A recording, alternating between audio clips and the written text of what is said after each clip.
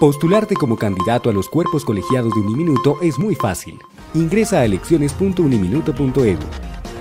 Selecciona el rol que cumples en Uniminuto, estudiante, profesor, graduado, decano o director de centro regional.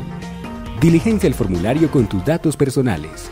Selecciona la sede a la que perteneces o en la que te graduaste. Selecciona el cuerpo colegiado al que aspiras. Recuerda que los consejos generales toman decisiones que involucran a todas las sedes de Uniminuto en el país, mientras que los consejos o comités de sede solo intervienen en los asuntos locales. Termina de diligenciar el formulario con tus datos personales. Si no recuerdas tu correo electrónico institucional, ingresa a clic aquí para recordarlo y a continuación se abrirá una ventana como la que ves en pantalla. Digita tu ID de Génesis e inmediatamente aparecerá tu información de usuario relaciona un correo electrónico alternativo y finaliza escribiendo una pequeña reseña respondiendo a la pregunta ¿Quién eres?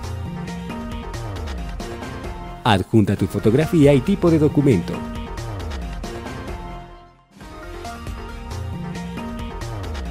Lee y decide si aceptas los términos y condiciones. Autoriza darle tratamiento a los datos personales que registraste en el formulario. Finalmente, envía tu postulación. El 28 de marzo sabrás si tu candidatura ha sido aceptada.